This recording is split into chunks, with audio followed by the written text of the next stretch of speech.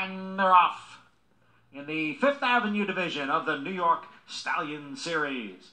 And it is Central Speed who has the early lead. FEMA Funds runs in second as Forces Sweetheart looks to move through down at the rail. And Midtown Lights is in between horses. And Small Pebbles is there, five of them vying for the lead. Le Bon Temps sits just off of them and in sixth. And then comes Dream on Cara in seventh, followed by Little Lindsay. Far outside is Sweet Liberty. And down at the rail is Clover Street.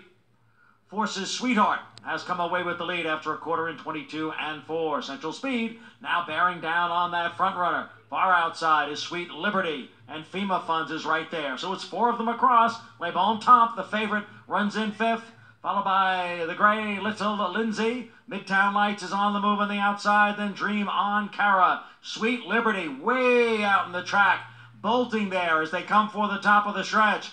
It is Le Bon Temps who has come on through now to challenge Forces Sweetheart for the lead. Le Bon Temps forces Sweetheart. On the outside is Little Lindsay and Midtown Lights. Little Lindsay and Midtown Lights and Le Bon Temps. Three of them across the track as they come down for the 16th pole. Le Bon Temps on the outside, Midtown Lights. Little Lindsay in between horses. They come on for the finish, and it is Le Bon Temps at six to five to win the half million dollar Fifth Avenue division of the Stallion Series.